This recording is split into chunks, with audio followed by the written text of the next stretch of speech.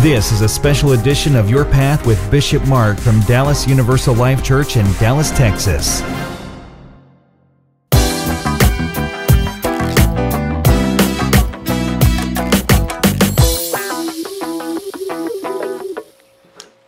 I say good afternoon to you. Good afternoon.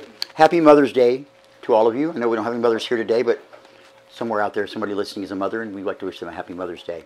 And hopefully they'll enjoy this sermon we have here today. Today's sermon is a little bit different from normal because uh, we are not only here to worship the Lord, we are here also to, uh, today, to also honor our mothers, grandmothers, and all the other great mothers. It is a day for greetings and the expressions of love all around.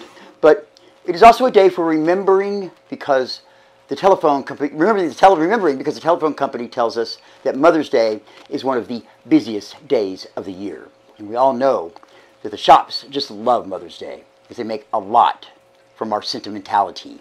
Say that word five times fast sentimentality.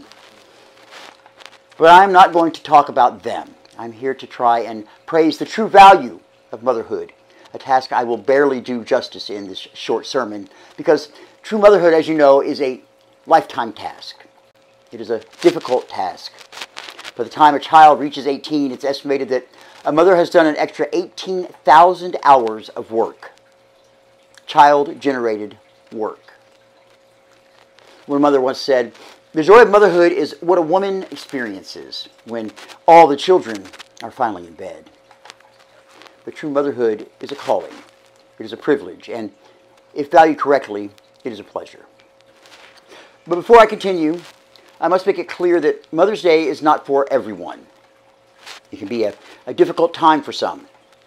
Many women would love to have become a mother, but for some reason they could not. And some people do not have what we call the best mother in the world, while others who did may have lost them through death or other circumstances. So we must give a thought to them and be sensitive, and especially to those mothers who lost children and others who carry the guilt of wayward children. So to them, Mother's Day can be very difficult indeed, and so we sympathize. Men don't make good mothers. Now, now that sounds a little silly, me saying this, but men or fathers do not make good mothers. And sometimes men try, but what I'm getting at here is that there are many things men cannot do where women simply excel, and motherhood is one. And I will give you an example. A mother's singing Brahms' lullaby to a baby has the voice of an angel, a member in the celestial choir itself, whereas the father just simply can't. Yet, the same voice of a mother can dwarf the sound of an amplifier when she calls the children for supper, or cheer them on at a football game. I remember someone once saying, You can fool some of the people all of the time, and all of the people some of the time, but you can never fool your mother. A physics teacher gave the class a lesson on magnets. The next day, he recapped on the lesson and asked, My name begins with an M, has six letters, and I pick things up. What am I? Mother. The kids answered, My mother. At church a few years ago, I used to say to the volunteers at the end of a long Sunday, Get this place cleaned up. I am not your mother. Then one day, another visitor to the church put his two cents worth in and said, I bet their fathers are glad of that. I don't say that anymore. Did y'all get that? You're just asleep on me today. Okay, wasn't that funny? All right. And mothers, too, are also well known for teaching their kids, but in their own first rate style.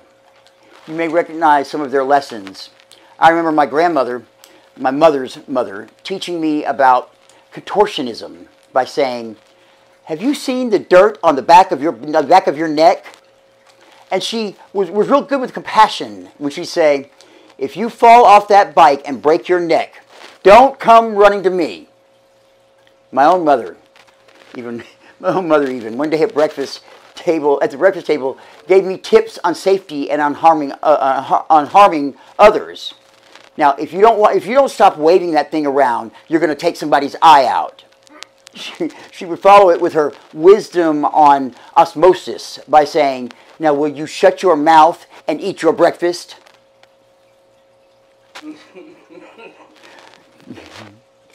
my personal favorite was my mother uh, would say, as she was giving a lesson to me on, on, the science, on the science of genetics, she would despondently say, You are just like your father.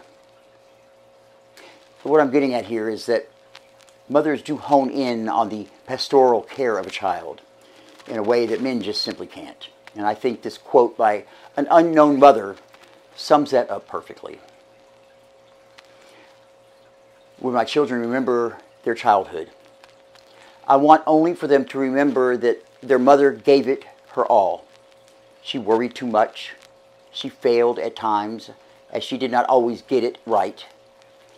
But she tried her hardest to teach them about kindness, love, compassion, and honesty, even if she had to learn it from her own mistakes. She loved them enough to keep going, even when things seemed hopeless, even when life knocked her down. I want them to remember me as the woman who always got back up and loved them to the end. Out of the 69 kings of France, only three were really loved by their subjects. And these three were the only ones reared by their mothers and not by tutors or guardians. And there's a great saying from the Emperor Napoleon himself that says, The hand that rocks the cradle rules the world. And I cannot overemphasize the wisdom in his words. Ralph Waldo Emerson, the man who led the transcendentalist movement of the mid 19th century, once said, Men are what their mothers make them. Think about it. That is some accountability to place on a mother, particularly as there's an old Spanish proverb which says, An ounce of motherhood is worth a pound of clergy. Over the centuries, mothers have given their children plenty of good advice, some of which we have just heard, but here are some examples of what some mothers may have said to their famous sons.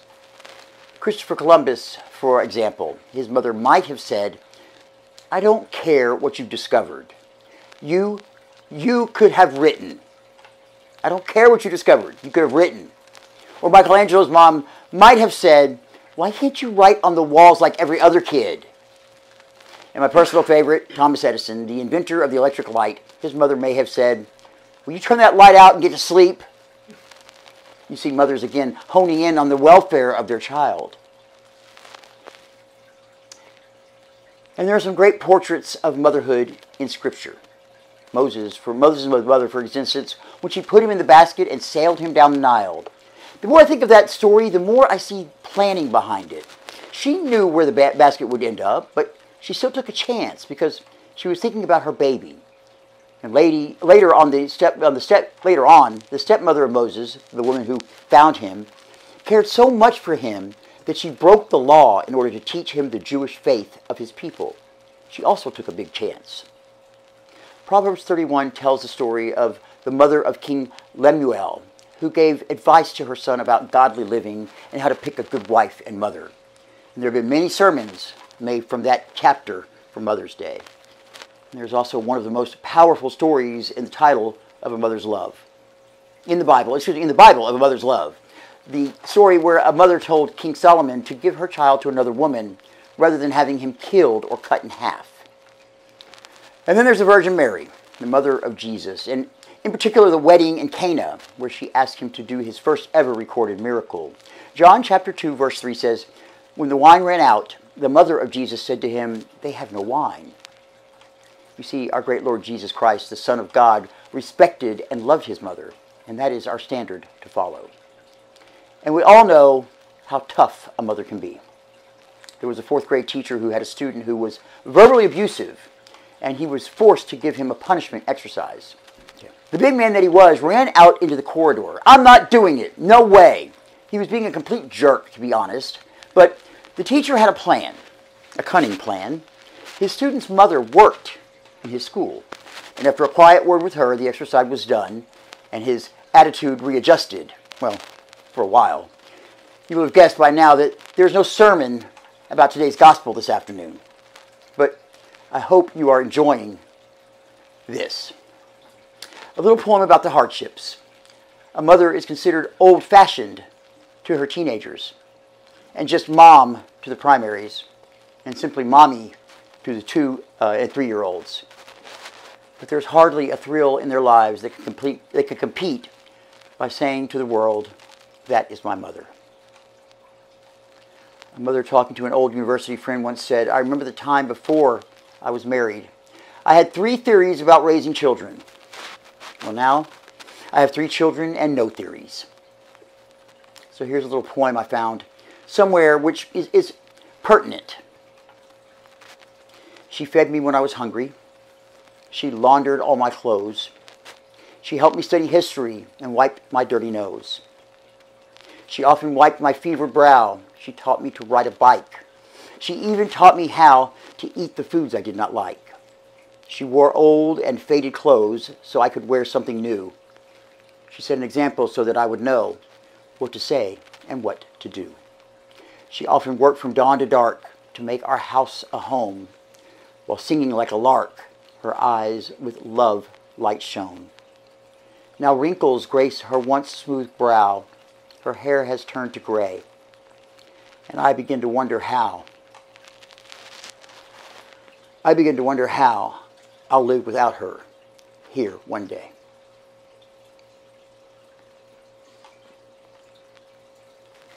Grandmothers. Grandmothers. Let's read another topic.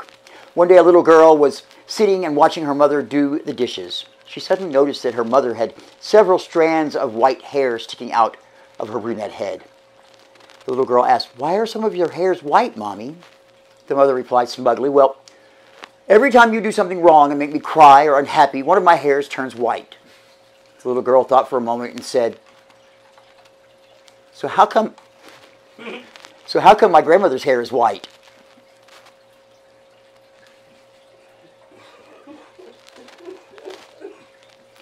Grandmothers and great grandmothers are extra special too, but grandmothers can be summed up in an essay written by a primary school pupil entitled, What is a Grandmother? You'll like this one. A grandmother is a lady who has no children of her own, but she likes other people's little girls and boys. A grandfather is a man grandmother. He goes for walks with the boys and they talk about fishing and stuff like that.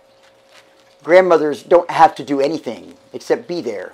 They are old so they shouldn't play too hard and they, they shouldn't run. When they take us for a walk, they slow down and show us pretty things like leaves and butterflies and things.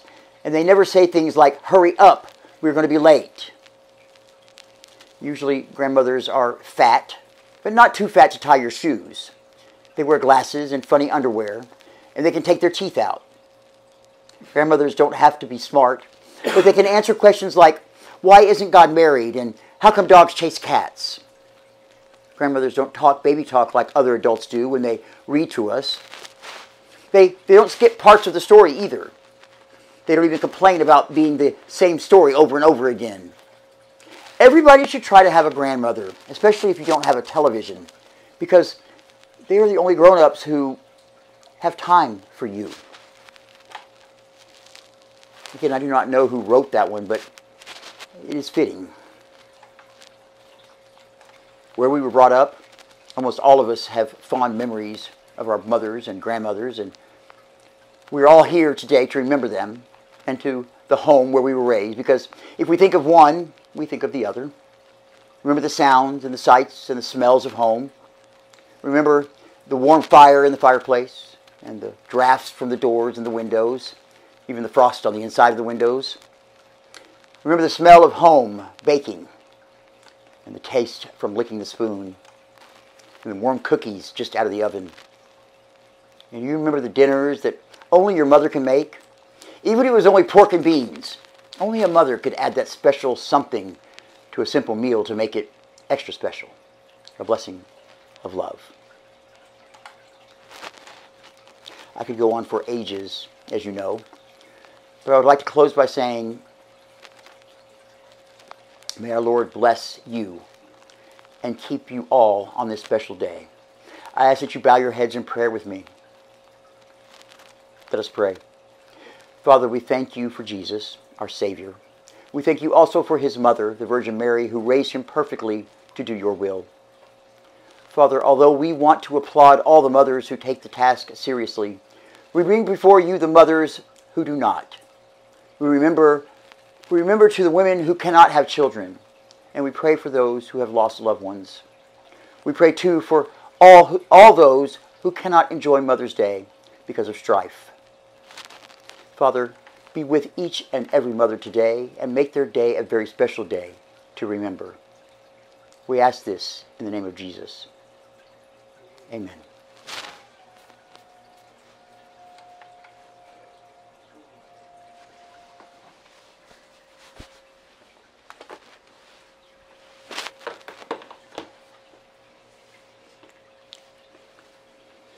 Is the only person here that whose mother is still alive. So I know this is very hard for all of us, and I, I thank you all. Um, this is a hard day for a lot of people. But try and remember those memories. Try and remember the memories. There are good ones to remember, and that's what she would want. That's what your mother would want today. Is it was it was her day, but even when it was her day, it was your day too. Remember that. What? That's what I was even thinking about. Uh, I was thinking about that. Like, Joe would like to go home and get some cornbread. Oh, you know it. Oh, God. My mother could make a Frito pie that would knock you out. I, have tried to make it here. I can't do it the same way. Can't do it. Can't do it. Can't do it. And always, always, always got to lick the spoon. And usually the bowl too. Oh, no, baby. We should just make banana pudding. green, my mother made the best green bean casserole. That's the stuff that I make for y'all at Thanksgiving. It's her recipe. They live on through us. We pass that down to others, whether we have kids or not. We pass it down.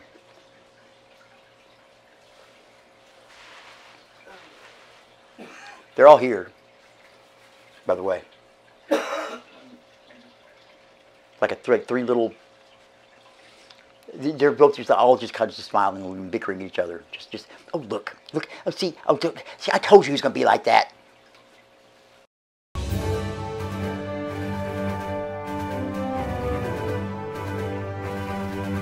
It is time for everybody's favorite part of the service. That's right, the announcements.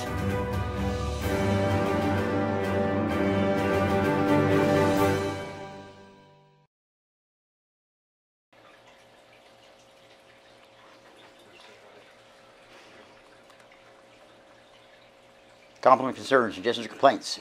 Compliments, concerns, suggestions, or complaints. You got one of those? You need one of these, folks. That's, that's an email address popping up there. Feedback at dallasulc.com. Very simple, very self-explanatory there. You got one of those? Send us an email. Did you know we had two podcasts? We have two podcasts. Two. Two. Count them, two. Our first podcast, most of you know about this, Your Path with Bishop Mark. It's been around for, it's in its sixth season now, sixth season. Um, uh, that is our, our uh, gospel reading for every week and our sermon, as well as the announcements and the roundtable. Uh, so it's your daily dose of Bishop Mark and your path, hopefully.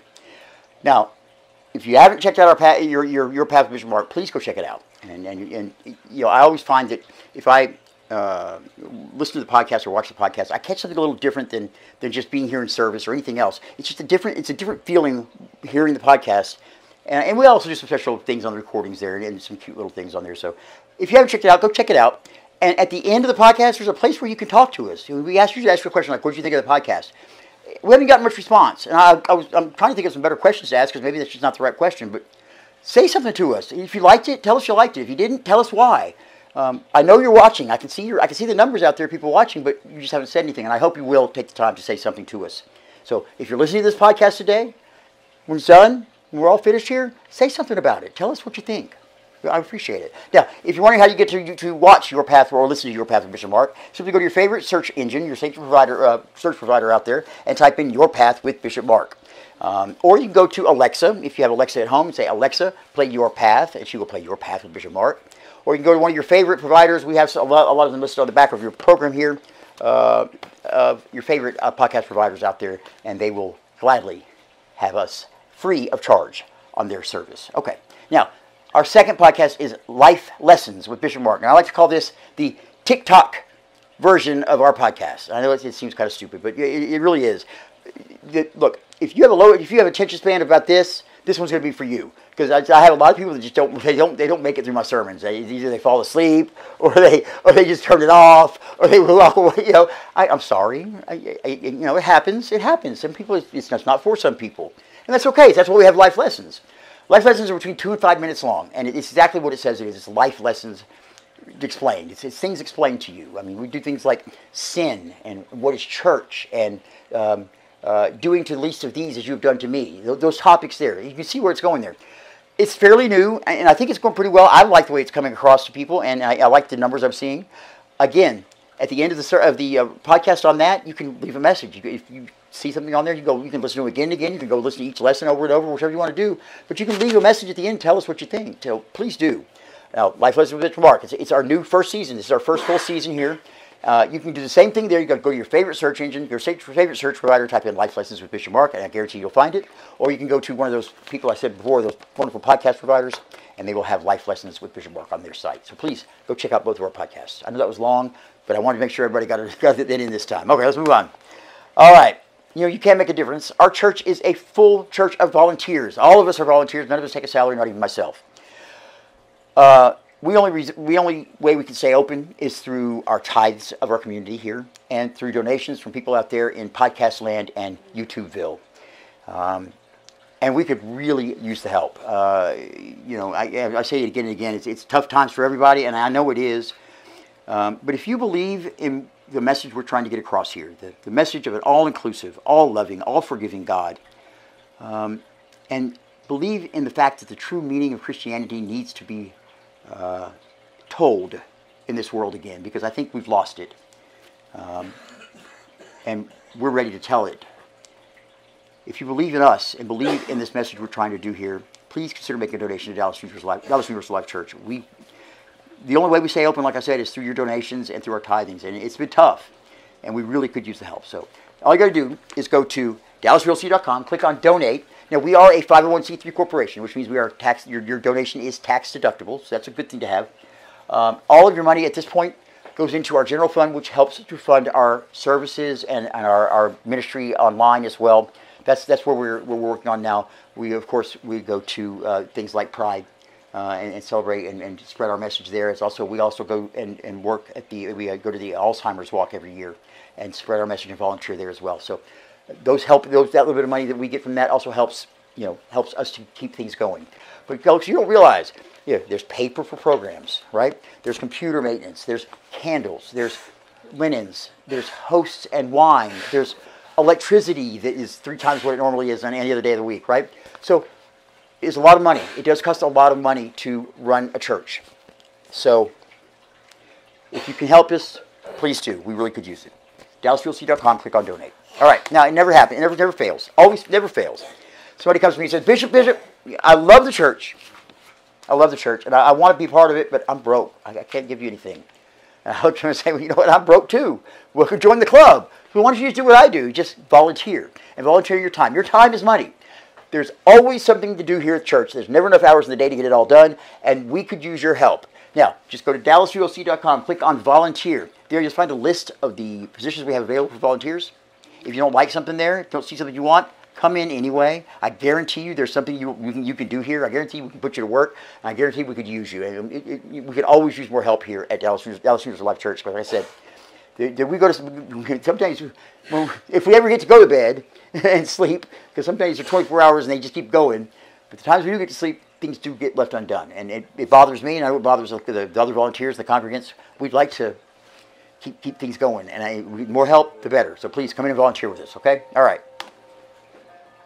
pray at dallasulc.com pray at dallasulc.com. That's an email address, folks. You have a request for prayer? Send us an email there at pray at, pray at dallasulc.com. It's very simple. You can remain anonymous or you can give us your name. We pray every single day here at Dallas, Dallas Universal Life Church. So uh, when you give us your prayers, your prayers could be said during the week or it might be said on the during the uh, prayers of intercession here on Sundays with the entire congregation. But please, if you have a prayer request, do not hesitate. Pray at dallasulc.com. We'll be glad to take care of that for you. Okay, folks, guess what? Is right around the corner. right around the corner. Our seven year anniversary, seven years I, I'm still just shocked that we're still here after seven years. Uh, if you only knew the path that, I, that my life has led to get me here, and, and I mean, y'all too. I mean, all of us sitting here. I mean, believe it or not, all of us really weren't on the path to a, a good Christian life ahead. We, we, we all made mistakes. We did. And we all went down that road, right? I know I can read mine. I never been to church. Well, yeah, then you've never been to church, so this is your first time. You know, look, I'm very happy that we're all here. I'm very happy that my path diverted where it was going and, ca- and came here. And, and I, I think this is where I'm supposed to be. I think this is where you're supposed to be. Seven years. Seven years we've been doing this. Okay, so on the 28th, is it correct? Yeah, May 28th. Sunday, May 28th. That is in two weeks. It's 14 days from now. You will finally get to see the premiere of Seven, Rising from the Ashes, which is a movie I've been working my little butt off on, which now I have, it was finished, but now we had some issues I have to go back and fix. yeah, we had some, something happened in the rendering of it where it actually, it took out the color and made it green. So it kind of flashes the green, like your faces go green, the whole thing goes green. It's like, a, like an old computer screen, you know what I'm talking about? So I got to go and get those files and try and fix that. Make yourself comfortable, Gavin. Okay. All right. look Like an import, like, Huh? you're making me. I'm I'm sorry, you don't have to look. You always gotta be the center of attention, don't you? Look at right in the center of the room, always. yep. Okay, here we go. So seven in two weeks, 14 days from today. That's two weeks from today. Not next Sunday, but the Sunday after is our seven year anniversary. There will be faith, fellowship, and food. Those three all go together on that day. We'll have a small reception, guys. Um, we will have the regular services. We'll have the watching of the movie, and we'll have the uh, reception. We probably won't do a roundtable because of the fact that we're going to be watching the movie. The movie is is is, is um, uh, a little lengthy. That's all I'm going to say about that. So, two weeks from today, please bring your friends, bring your family. Come, make sure you're here for the anniversary, the seventh anniversary of uh, of uh, Dallas Universal Life Church. Now, look, we could also use some volunteers for that that week. Going to be a rough week for us. We got a lot to do, so please, if you can, come in and help us that week. That would be great. Okay. Okay. Next announcement. The week after, the week after our seven-year anniversary, so it's in three weeks from today. 21 days from today is the 40th Pride. Uh, it- it's going to be happening in Fair Park that we are members, that we are in, the Pride Parade. Okay? So that's 21 days from today. That's not, it's not this Sunday, not this coming Sunday, not the next Sunday, but the next Sunday after that. Three weeks, only three weeks away, guys. Ask your friends, ask your family, ask people if they want to come march with us. We'd appreciate them coming. We've got room. We, it's going to be a fun time for all. It's out at Fair Park. It's a great time. The experience is amazing. If you've never walked at a Pride Parade, you're missing out because it's a lot of fun. It really is. It's a lot of fun. And we'd love to have you come and join us. All of you out there in Podcastville and, and YouTube land, come on out. Come, come with us. Uh, Dallas Pride, June the 3rd and 4th. Uh, the actual parade is on the 4th, and that's where we'll be going uh, with our big motorhome. And we got some new banners for it, and it's going to be a lot of fun. Uh, hopefully, a bunch of people. Um, so plan on that. Uh, understand this. We do this, this just to let y'all know in advance. 21 days. I'm just letting you know. We have a sleepover on that Friday, on that on that uh, that Saturday, that Saturday night. The fourth is a Sunday. Okay, so on that Saturday night, if you're coming to the parade with us, you need to be here and sleep over that night. Okay, because that way we can make sure that we're all ready to go the next day. Because the next morning we have to get up and do a morning service, which we don't do very well here. Because none of us like mornings that much, and I, I'm the first one to tell you that. But on that day, we have to do a morning service on, on Sunday because we have to be in the lineup at Fair Park at noon. Okay, so please understand on the third, you need to be here. The doors will close at 10 o'clock on the third. 10 o'clock p.m. Please be here. I'll have some refreshments and things to keep us going for the night, and we'll have a good little time of fellowship, and then we'll go do our pride thing on the next day. Okay? It's gonna be a lot of fun, folks. I really think it's gonna be gonna be a blast. And look, if you don't understand this, Pride is a family-friendly time. It, there's nothing seedy going on out there. There's nothing adult-oriented. It's, it's very geared toward children, toward the family, toward toward a loving um, environment. And, and I, if you want to bring kids, it's great. There, there were tons of kids out there last year. They had a blast. And I think, I think the more the merrier. I, I'd love to see the families out there. I think it's great. So here we go. Guess what? You made it. I'm out of breath. How's everybody doing? Everybody okay? Okay. Let's rise for a dismissal.